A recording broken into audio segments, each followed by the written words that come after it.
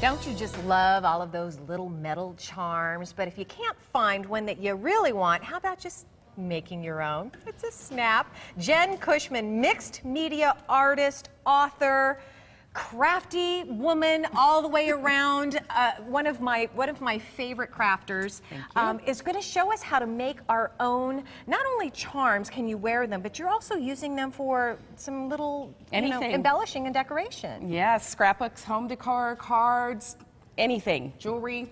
You can just turn these into absolutely anything. They're just cute. I love that. Let's take a look at what we're talking about here. First of all, I love, love some of the jewelry that you created here. And I, I don't know if you've um, seen Jen here before or not, but she, she not only makes the, the metal charms, but she showed us how to make um, the ice resin uh, charms, which is adding kind of like a like an acrylic or It's a resin, It's so a you resin, can put okay. anything in an open back bezel and it's fabulous. Um, open back bezel. I love Mm-hmm. it. Take a look at some of the, the stuff that she's created. This is absolutely gorgeous, and I want you all to know that it how, how easy it is to do.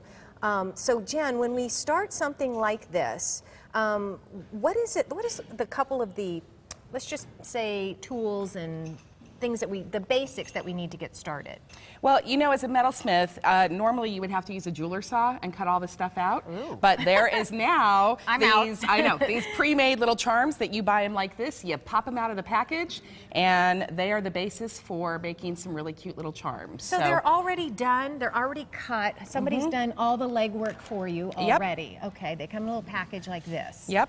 Okay. How many different designs are there? Uh, six or eight, I don't know. I'm not quite sure. I know there's all kinds of different little shapes on there, but they're really, really cute. And you just start with those, and then you can use them as is. But that's a little boring. That's not Yeah. very crafty. you got to do something to them. Absolutely. So, What you did know? you do? Well, what we, you know, there's a you can use die cutting machines and a texture plate, or if you don't have this fancy stuff at home, you Mm-hmm. can go grab a hammer and you can just do what I did, and you can start with this little charm blank, and you can take it and you can just hammer it out, and you create a hand hammered texture there. Oh my gosh! What did you? So just that a is the- hammer just or? the back of a ball peen hammer. You just take it and hammer it out, and you can hammer it on. I- um, I don't wanna ruin your tool, I'm but it's sorry. basically It's did. I didn't bring the hammer, That's so okay. yeah, you just take the hammer and hammer that out. Okay, so just so I get it here, in the package you get the backing and the top piece. And get the top piece. You use them together. You do. You sandwich Okay. them together. You can use them separately, but that gives them a little bit more strength. Okay. So then you pull out the little top piece, and then you just take a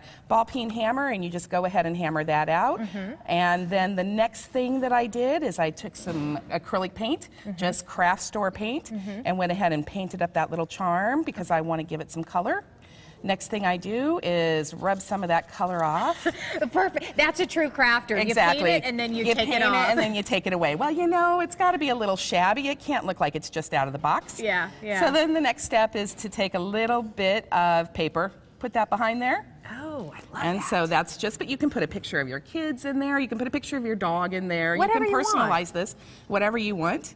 And then How did you attach the um, the paper to the metal? just glue. Take Okay. white glue and just glued it right on the back there and attached it. Okay. And then the next little step is that I'm actually taking and sandwiching those pieces together again with some glue. Okay. And then this is my one tool I did bring. This is just a punch that is really fabulous. And then you can just take it and you can punch out the little eye there.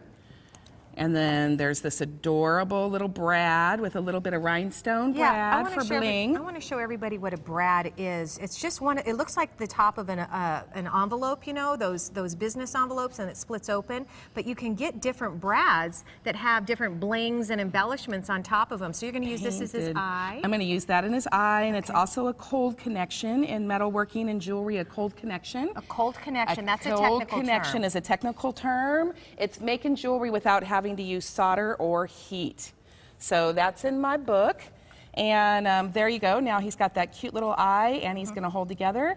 And then at the end, in order to make sure that it doesn't rub off if I'm going to wear it as jewelry, I need to seal it with something. And of course, I use ice resin to seal it.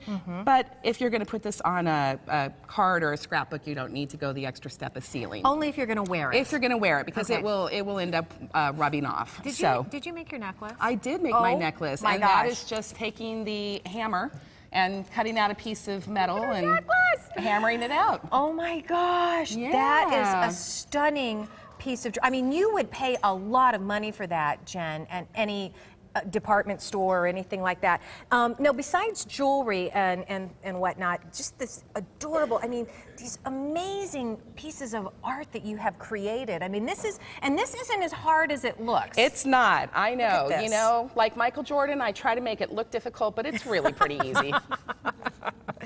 Oh my gosh, look at this. It's a little dress design. Mm-hmm. How cute is that? Now you can use that to embellish little things with, like you can lay it, you know, on a I, little side I actually table. have it in my guest room and I hang it from the light as a light pool, my lamp pool for my fans. Oh my 'Cause you know how ugly the fans are in I Arizona. see that we now. have to have them. I see that now. I'm pulling it off.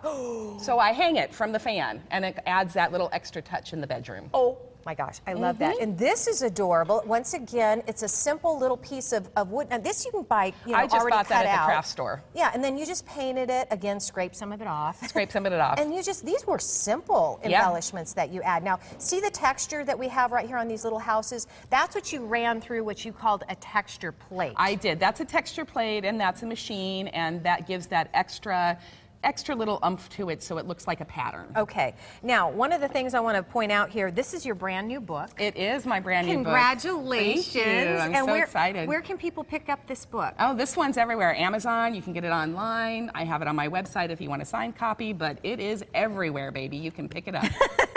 I've been everywhere. I love this. As a matter Mm-hmm. of fact, I don't know, I, before we go, uh, look at this. Super cute earrings that you can learn how to make from this book and how easy it is. I mean, you've just seen the process.